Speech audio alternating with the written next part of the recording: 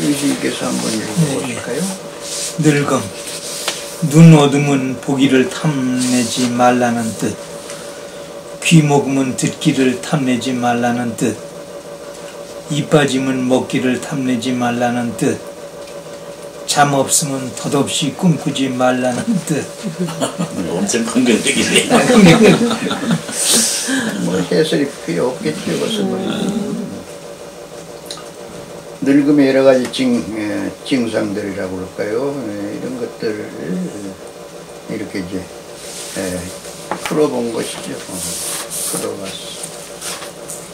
왜 눈이 어두운가? 그동안 많이 봤으니까 말이야. 이게 말이야. 너무 보려고만 욕심내지 말라. 그런 의미로 하느님이 이게 눈을 침침하게 만든 것이라. 귀 먹은 것도 마찬가지. 그동안 많이 들었으니까 말이야. 너무 들으려고 하지 말라. 이 빠진 것도 마찬가지. 그동안 얼마나 많이 먹었어. 그러니까 아, 더 이상 많이 먹지 말라라고. 어, 그래서 이, 이가 빠진 것이. 잠이 없는 것도 그동안에 많은 꿈을 꾸었는데 이제 덧없이 말이야. 네가 살 날 얼마 안 남았는데 덧없이 꿈꾸지 말라 말이야. 덧없이 꿈꾸지 말라. 아, 그런 뜻으로 눈도 어둡고 귀도 어둡고 이도 빠지고 말이야. 잠도 줄어들고 그런다.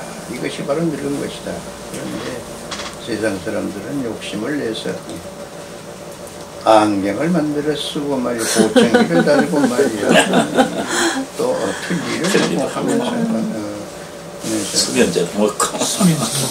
그것도 조금 되겠는데요 인간 그 지금 말씀하신 것도 쓰면 되겠네요 밑에다 쓰는 예. 거 있죠. 그러니까 제 2연을 그렇게 뭐 쓸 수도 예, 있는데 예. 사실은 이게, 어, 그 1년에서 다 그 얘기가 사실 다 그러니까. 담겨 있는 것이니까 아,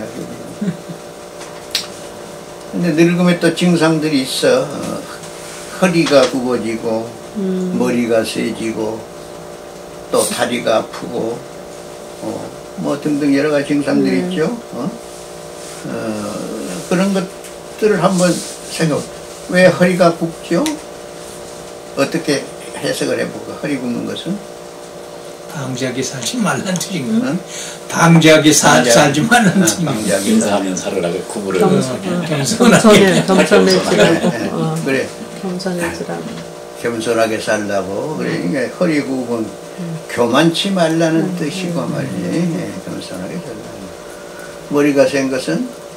머리가 센 것은? 뭐라고 하면 좋지? 샘머리, 샘머리. 머리에서 생각이 나오죠 네. 생각을 좀, 음, 생각, 멈추라고 이제. 딴 생각하지 말라고. 나는 그래서 생각을 음, 맑히라고 아, 말키라고. 맑게 하라고 맑게 하라고. 맑히기 아. 맑히라 합니다 하, 하얀 머리처럼. 다리가 아픈 것은 젊때같이 함부로 나, 돌아다니지 말라고. 함부로 나둔 걸 아, 그렇지. 날뛰지 말아라 날뛰지 말라. 쓸데없이 돌아다니지 말라 말이야 예. 그래도 다치지. 하지 말라. 그리고 쉽게 잊어버려. 망각, 망각. 망각. 네, 네, 아, 쉽게 잊어버리는 증상이 있단 말이야. 네, 건망증. 지속이 안 되는. 집착하지 말고 집착하지 집착하지 집착하지 말라. 아. 부질없는 걱정 말라. 부지런한 것들 말라. 어, 하긴 막 먹는 걸 계속 갖고 있으면 안 지워지면 컴퓨터처럼 안 지워지면 포맷을 해야 될 거예요. 이 국정에서 그렇죠. 어떻게 살아? 어, 사람 머리 예.